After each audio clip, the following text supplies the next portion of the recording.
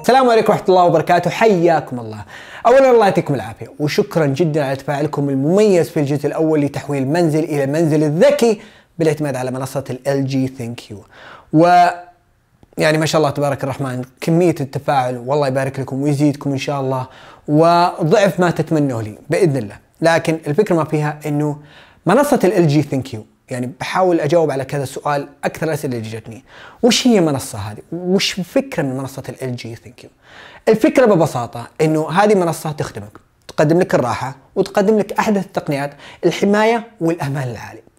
والفكرة ما فيها إنه من خلال منصة LG ThinQ إنه تعال أنت كمستهلك بدل ما كنت تسوي الخطوات مع الأجهزة المنزلية من ثلاثة إلى أربع خطوات راح تسويها من خلال خطوة واحدة. ومو بس كذا مو بس إنه خطوة واحدة راح تسويها في أي مكان مهما كنت يعني حتى وإن كنت خارج المنزل وهذه واحدة من الأشياء اللي فعلا صارت لي. رحت الحديقة نسيت ما اطفي منقي الهواء. فعاده يعني أخليه لا أروح أرجع البيت مشوار. لكن كل اللي سويته إني دخلت على الجوال رحت لمنصة LG ThinQ وطفيته وانتهينا قضينا خلاص.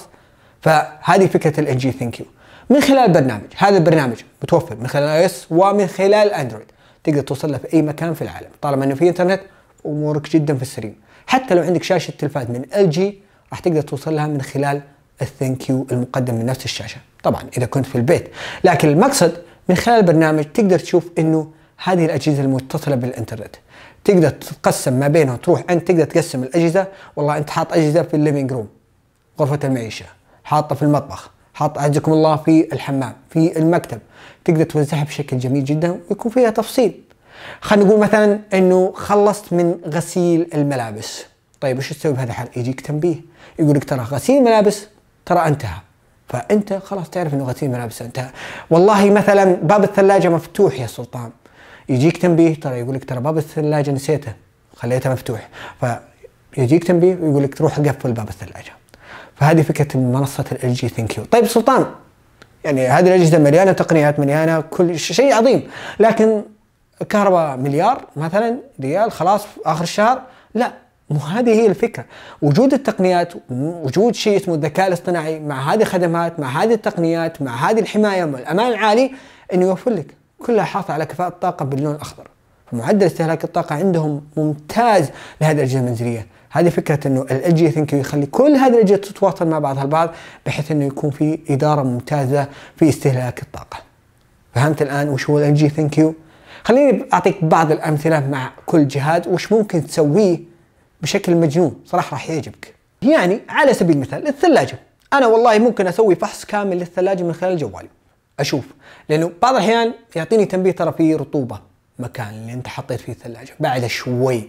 أو مثلا ترى المساحات اللي موجودة جوا الثلاجة صغيرة فانتبه لهذه النقطة. أقدر أروح مثلا والله مثلا أبي أغير درجة حرارة الثلاجة أو أغير درجة حرارة الفريزر نفسه. أقدر أسوي هذا الشيء من نفس الجوال وانتهينا وزي ما قلت لك لو نسيت باب الثلاجة مفتوح راح يجيك تنبيه ويقول لك قفل باب الثلاجة الله لا يهينك. التلفاز على سبيل المثال أي شاشة من LG بما فيها ال GX معتمدة أو مرتبطة بشكل كامل على منصة ال ThinQ والذكاء الاصطناعي. الذكاء الاصطناعي يقدم لك البرامج المقترحة. ممكن يقدم لك أيضا الذكاء الاصطناعي وضبط المشهد على حسب المحتوى اللي أنت قاعد تشوفه بدون ما تسوي أي إعداد يدوي وتحوس فيه وخاصة الأشخاص اللي ما عندهم خبرة. فخلي الذكاء الاصطناعي يضبطك في مسائل المشاهد وأيضا في مسائل الصوت بإمكان أيضا في خاصية التحكم الصوتي وهذه بعض النتائج اللي سويناها وتكلمنا عنها. What's the weather like in Riyadh?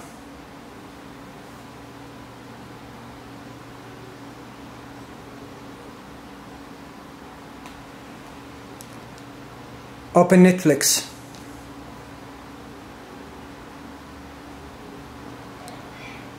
Back to YouTube.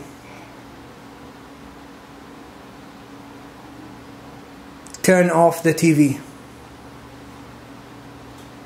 خاصية سبورت اليرت والله أنت حاط فريقك المفضل. قبل ما تبدأ المباراة يا صديقي راح يجيك تنبيه. نافذة منبثقة كذا. استجابوا هدف راح يجيك نافذة منبثقة خلصت المباراة راح يجيك نافذة منبثقة وأيضا هذه الشاشات متوافقة مع ال AirPlay وال HomeKit هذه شاشات LG بما فيها ال GX متوافقة مع أحدث التقنيات بما فيها مستقبل أجهزة الألعاب من خلال منافذ ال HDMI 2.1 ال G-Sync وال FreeSync كل التقنيات موجودة مقدمه من قبل شاشة التلفاز كلها شاشات LG ال OLED على سبيل المثال. الغسالة يعني. وصراحة الفضل لله ثم لزوجتي. شكرا لها لأنها ساعدتني كثير في شرح بعض النقاط وبعض الأشياء اللي ما كنت يعني فاهمها بدرجة جدا كبيرة مع الأجهزة المنزليه. يعني ال AI Direct Drive هذا تخيل تحط ملابس. ملابس.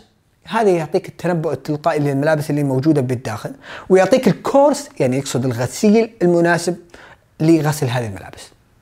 بدون ما تتدخل بدون ما إذا حست ما تعرف تبغى تسوي شيء هو راح يقول لك ترى هي الغسيل المناسب له هو هذا بالمدة هذه بالأشياء هذه. واحد اثنين ثلاثة أربعة خلاص. أنت بس تضغط ستارت وخليني أبدأ أنا بس في الموضوع هذا. يقلل من مسألة الاهتزاز والضجيج. طبعا تقدر تروح للبرنامج وتشوف الكورسات اللي أنت تبغاها. الغسيل المناسب. وحتى لو ممكن تروح لخانة تحميل المزيد وتحملها وتضيفها عندك في الكورسات الموجودة. الدرج الأول مناسب للملابس الثقيلة، الدرج الصغير للملابس الصغيرة مثلا الشرايب الصغيره، طيب أوكي لحظة سلطان وأنا أغسل ملابس يعني نسيت ما أضيف عزكم الله اللي هو مثلا مثلا شراب. أقعد أطفي الكوت وأقعد أول بعيد من اول جديد. لا كذا بموضوع.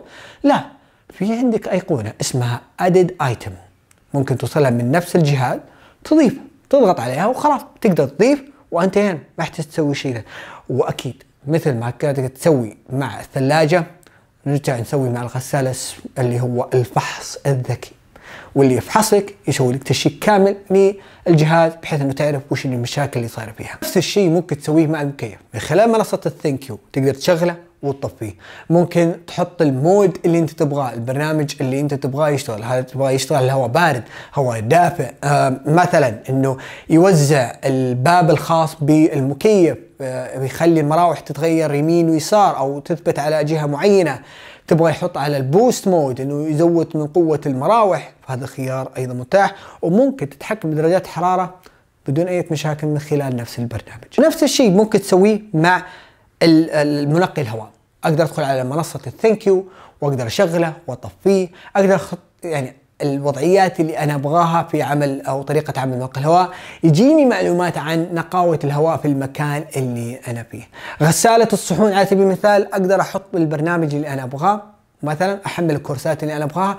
أقدر أسوي أقدر أشغلها. أقدر أطفي غسالة الصحون وانتهينا فالفكرة ما فيها زي ما أنت شايف إنه هذه المنصة تجمع لك كل شيء في مكان واحد.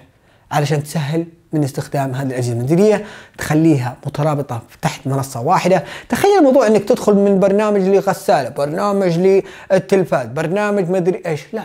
ال ThinQ هذه فكرته إنه يجمعها لك في منصة واحدة. فهذه أتمنى إني وفقت في الشرح إيش الفكرة اللي تقدمها لك منصة ThinQ قد إيش قد إيش هي مفيدة بالفعل. أتمنى إني افدتكم اتمنى إني آه يعني وضحت كل نقاط ممكن تستفيد منها من خلال منصة ال LG ThinQ وش ممكن تسويها مع كل جهاز منزلي موجود عندك.